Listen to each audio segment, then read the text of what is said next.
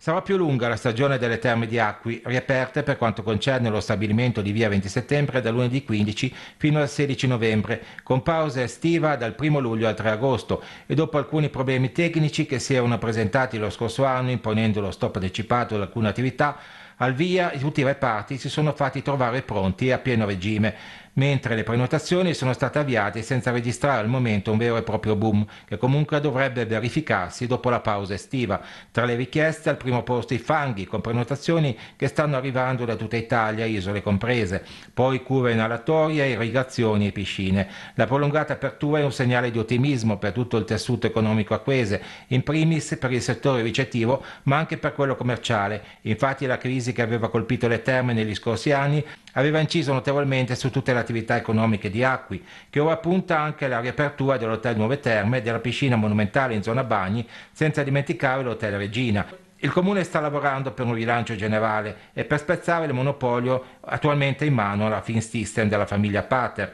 ma intanto nella città termale si respira un'atmosfera diversa, anche in vista del 2025 quando scadranno i termini delle concessioni sulle acque termali. Il Comune e la Regione si tengono pronti per un momento che potrebbe significare un ritorno della pubblica amministrazione nella gestione. La Regione in primis aveva confermato di voler proseguire nel suo proposito di recuperare ampi margini di manovra su un settore